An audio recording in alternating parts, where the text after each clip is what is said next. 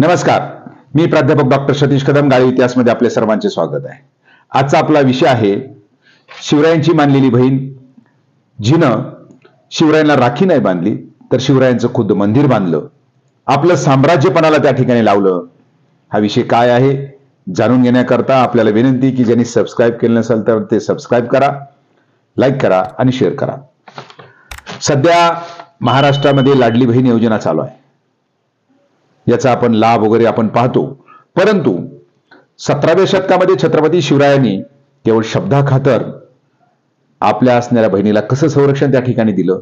आणि त्याचबरोबर त्या बहिणीनं शिवरायांसाठी काय केलं? ह्या दोन्ही गोष्टी अतिशय मर्मभेदक आहेत वेगळ्या स्वरूपातल्या आहेत. त्यामुळं शेवटपर्यंत हा व्हिडिओ त्या ठिकाणी ऐका. त्यानुसार आपल्याला माहीत असलं पाहिजे की मंदिर बांधला हा शब्द आल्यानंतर आपल्या मनामध्ये सहज शंका यायला लागते की आपण म्हणतो की शिवरायांचं पहिलं शिल्प यादवाड या ठिकाणी आहे. ती कथा वेगळी आहे. हा भाग मी सांगतोय त्याच्यामध्ये आणि याच्यामध्ये खूप फरक आहे. आपल्याला माहीत असणारा जे काही कथा पाहत असताना माहिती पाहत असताना आपल्याला प्रथमतः या ठिकाणी दोन गोष्टीचा जे क्लिअर करूया. तर त्यानुसार कर्नाटकामध्ये चन्नमा दोन होऊन गेले तर ते कित्तूरचे चन्नमा जे आहेत ज्यांनी स्वातंत्र्य संग्रामामध्ये भाग घेतलेला आहे. म्हणजे शिवरायांच्या कालखंडाचा त्यांचा संबंध नाही आहे. दुसरं यादवाड या ठिकाणी जे आपण आपल्याला माहीत आहे की यादवाडला शिवरायांचं जगातलं पहिलं शिल्प ज्यांनी उभा केलं तर त्यांचं नाव मल्लम्मा आहे. तर त्या मल्लम्मा म्हणजे आपण बेलोडीचे मल्लम्मा म्हणतो. आपण इथं जे चर्चा करणार आहोत ती आहे केळदीची चन्नम्मा. तर ते केळदीचे चन्नमा किंवा केळदी साम्राज्य कुठं आहे? याचा आपण ज्यावेळेस आढावा घेतो तर केळदी हे तालुका सागर जिल्हा शिमोगा म्हणजे जिथून जोगचा धबधबा अगदी जवळ आहे. तीस किलोमीटर असणारा जोगचा जोग फॉल जे जगातला सर्वात मोठा धबधबा किंवा महत्त्वपूर्ण धबधबा तर तिथून जवळ आहे. हुबळीपासून साधारणतः दीडशे किलोमीटर असणारं हे साम्राज्य. ज्या परिसरामध्ये घनदाट अशा प्रकारचं जंगल ज्या परिसरामध्ये अतिशय मोठ्या प्रमाणात त्या ठिकाणी पाऊस पडतो त्यामुळं उन्हाळ्यात जरी तुम्ही गेला तर थंड हवा आणि फार मोठं जंगल आपल्याला त्या ठिकाणी पाहायला मिळतं. तर हे असणारं केळदीचं साम्राज्य. याचा संस्थापकाचा ज्यावेळेस आपण विचार करतो तर ज्यावेळेस आपण दक्षिणेमध्ये जातो कर्नाटकामध्ये जातो तर बेळगावपासून ते बेंगलोर पर्यंत तंजावर पर्यंत हा जो मधला भाग आहे तर मधल्या भागामध्ये छोटी छोटी अनेक अशा प्रकारची संस्थानं होती. तर या हिंदू संस्थानाला म्हणजे ज्या परिसरामध्ये आदिलशहाचं साम्राज्य आहे याच परिसरामध्ये छोटी साम्राज्य होती तर त्या छोट्या साम्राज्याला नायकांचे साम्राज्य म्हटलेलं आहे. म्हणजे तिथं असणारे छोटे छोटे राजे हे नायकाचं साम्राज्य होतं तर त्यापैकी असणारं हे केळदीचं संस्थान. हे केळदीचं संस्थान म्हणजे ज्याला दक्षिण भारतातलं महत्त्वपूर्ण अशा प्रकारचं जे काही राज्य होतं ज्याला आपण विजयनगर साम्राज्य म्हणतो हम्पीचं विजयनगर साम्राज्य. तर हम्पीचं विजयनगर साम्राज्य ज्यावेळेला तालिकोटच्या लढाईमुळे ज्याला राक्षस तागडी किंवा तालिकोटची लढाई म्हणतो या लढाईमध्ये सोळाशे पासष्टला हे साम्राज्य आदिलशाही असेल निजामशाही असेल मोगल कुतुबशाही या सर्वांनी बुडवून टाकलं.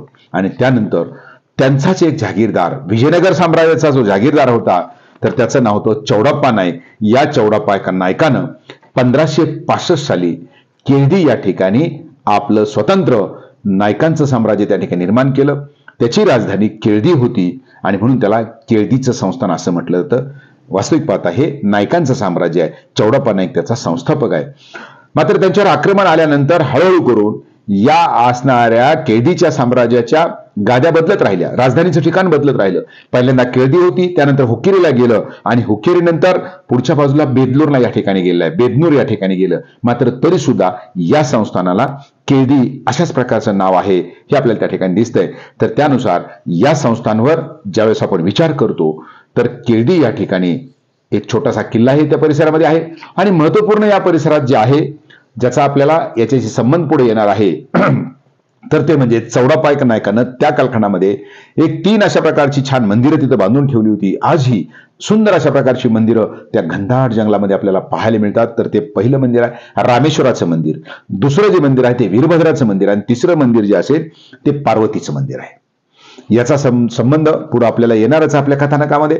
तर त्यानुसार ज्यावेळेला आपण पाहिलं की चौडाप्पा नायकाचं जे काय वारसदार त्या ठिकाणी आहेत सोळाशे तीस साली शिवाप्पा नाईक हे तिथं राज्यकारभार करत होते. आणि शिवाप्पा नायकाच्याच ज्या पत्नी आहेत ज्या आपलं मेन आजचं जे मुख्य पात्र आहेत तर त्या म्हणजे सिदाप्पा सेटकार नावाच्या एका व्यापाऱ्याची मुलगी.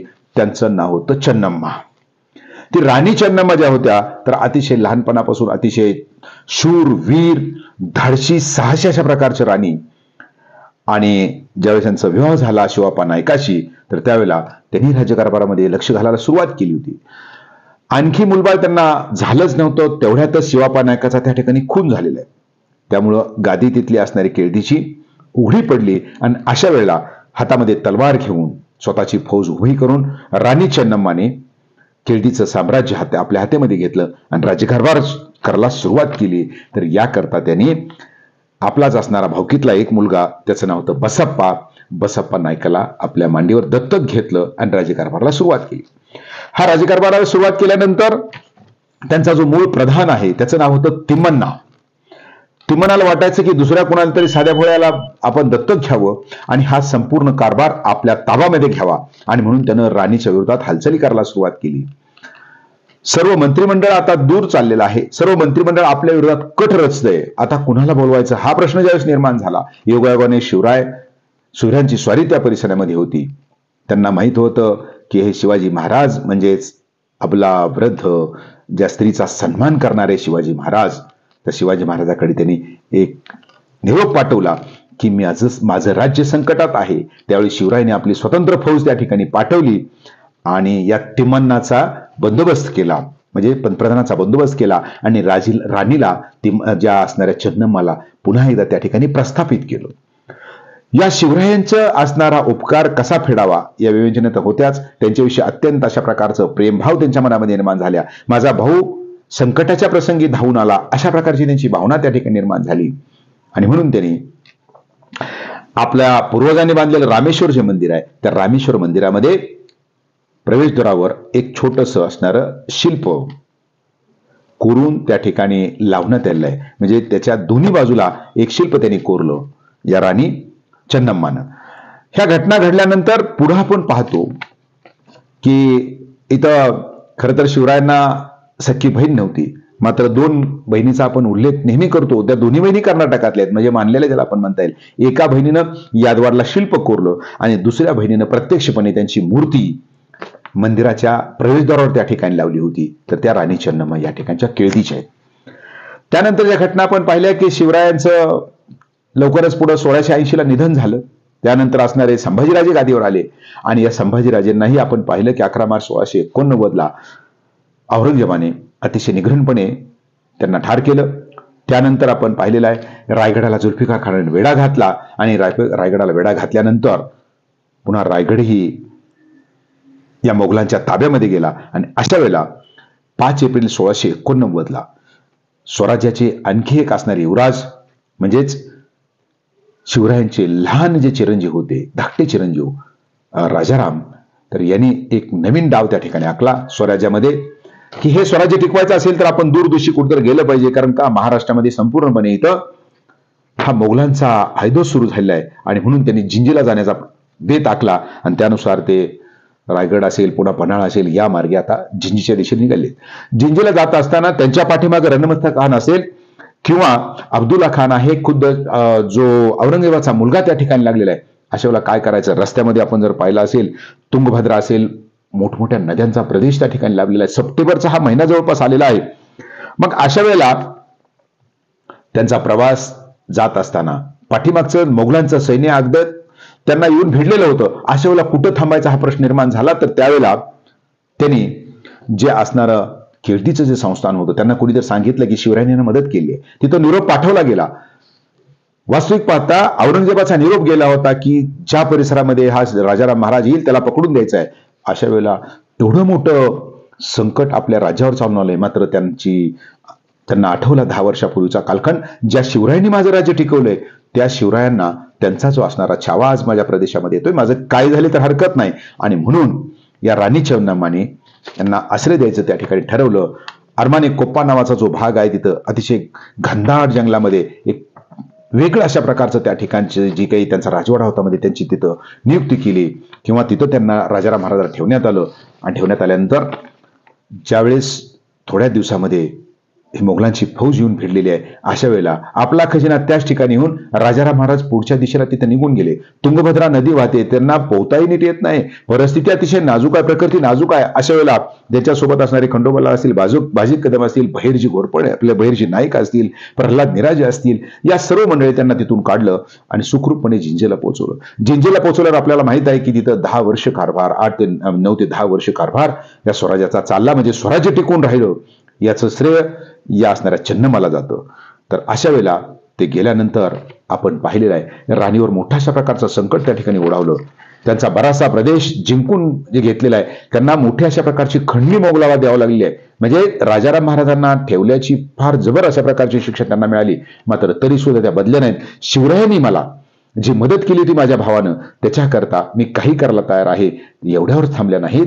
तर राजाराम महाराज यावेळेस आपण पाहिलं निघून गेल्यानंतर त्यांना वाटलं की मी शिवरायांचं फार मोठ्या अशा प्रकारचे उपकाराचं ओझं उतरलं आणि म्हणून त्यांनी जे रामेश्वराचं मंदिर आहे केळदीतलं रामेश्वराचं मंदिर आहे त्या मंदिरात आपण गेलो तर पुढच्या बाजूला एक विजयस्तंभ त्या ठिकाणी उभा केला आणि या विजयस्तंभावर एक शिल्प कोरलं किंवा तिथं मूर्त्या त्याच्यामध्ये कोरण्यात आलेल्या आहेत. त्या मूर्त्यामध्ये जर आपण पाहिलं एका बाजूला ज्या राणी चन्नम्मा आपल्या दाशीसह उभा आहेत आणि दुसऱ्या बाजूला जे छत्रपती राजाराम महाराज आहेत धर्मदंड घेऊन उभा आहेत. हा महत्त्वाचा भाग आहे. तर अशा असणाऱ्या या राणी चन्नम्मानी प्रथमतः आपल्या भावाचंही त्या ठिकाणी एक शिल्प या मंदिराच्या वरच्या बाजूला कोरलं. म्हणजेच मंदिरामध्ये जात असताना शिवरायांचे विचार घेऊन हे जो आपला इथं असणारं देवस्थान असेल ते तिथं रामेश्वर म्हणजेच साक्षात महादेव. तर त्याचं संरक्षण या माणसापासून झालं या राजापासून झालं ही भावना त्याच्यामध्ये आहे. आणि तशाच प्रकारचं शिल्प बाहेरच्या बाजूला कोरलं. म्हणजेच एकंदर की आपल्याला ह्या विजय या ठिकाणी मिळवलाय हे त्याच्यातून त्यांना प्रतीत करायचं होतं आणि राजाराम महाराजांच्या सेवकाच्या हातामध्ये धर्मदंड देणं. म्हणजेच आपला असणारा जे अधिष्ठान आहे हे अधिष्ठान टिकवलं. आपला धर्म टिकवला आपला देश टिकवला आपलं स्वराज्य टिकवलं हे त्यांनातून त्यांना दाखवायचं होतं. त्यानंतर स्थिरस्थाव झाल्यानंतर राजाराम महाराजांनी संताजी घोरपडेल या ठिकाणी पाठवलं आणि या मुघलांचा बंदोबस्त करून पुन्हा एकदा राणीची व्यवस्था लावून दिली. आणि त्यानंतर दुसरं एक मंदिर आपण जर पाहिलं मग ज्या सुरुवातीला उल्लेख केला होता पार्वतीचं मंदिर त्याचीही डागडुजी करून त्याही ठिकाणी या राजाराम महाराजांनी पार्वती म्हणजेच आपले असणारे आत्या किंवा आपल्या वडिलांची बहीण याच्याकरता त्या मंदिराचंही त्यांनी शिशुभकरण केलं. तर अशा रीतीनं एकंदर जे केळदी संस्थान आहे जे शिमोगा जिल्ह्यात आहे तर त्या ठिकाणी खरं तर ही शिवरायांना बहीण नव्हती पण मानलेली बहीण त्या बहिणीनं शिवरायांसाठी राखी नाही तर मंदिर बांधलं. आणि आपल्या स्वराज्यपणाला लावून आपलं साम्राज्यपणाला लावून शिवरायांच्या मुलाची म्हणजे छत्रपती राजाराम महाराजांची सेवा केली आणि हे स्वराज्य जे पुढं टिकलं तर त्याच्यामध्ये आपला हातभार त्या ठिकाणी लावला लावला. त्यामुळं म्हणावंच वाटतं की बहीण असावी तर अशी मानलेली असू की रक्ताची हे असणाऱ्या राणी चन्नमावून आणि छत्रपती शिवरायाकडून शिकावं हाच ह्याच्यातला भाग होता. हा व्हिडिओ आपल्याला कसा वाटला निश्चित सांगा. लाईक करा शेअर करा.